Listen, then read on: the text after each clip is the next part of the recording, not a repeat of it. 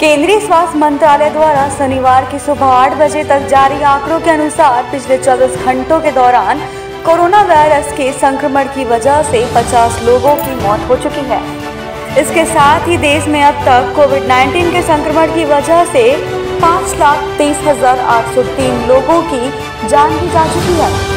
स्वास्थ्य मंत्रालय के आंकड़े बताते हैं कि कोरोना वायरस के संक्रमण से ठीक होने की दर यानी नेशनल रिकवरी रेट अट्ठानवे दशमलव चौहत्तर प्रतिशत है।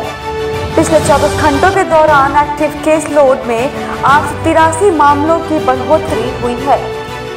अब तक लग चुकी कोविड 19 वैक्सीन की एक सौ अट्ठासी दशमलव नवासी करोड़ डोज स्वास्थ्य मंत्रालय द्वारा जारी आंकड़ों के मुताबिक नोवल कोरोना वायरस से संक्रमण की डेली एक सौ अट्ठासी दशमलव नवासी करोड़ डोज स्वास्थ्य मंत्रालय द्वारा जारी आंकड़ों के मुताबिक नोवल कोरोना वायरस से संक्रमण की डेली पॉजिटिविटी रेट ज़ीरो दशमलव चौहत्तर प्रतिशत तक वीकली पॉजिटिविटी रेट ज़ीरो दशमलव छाछठ प्रतिशत दर्ज की गई है।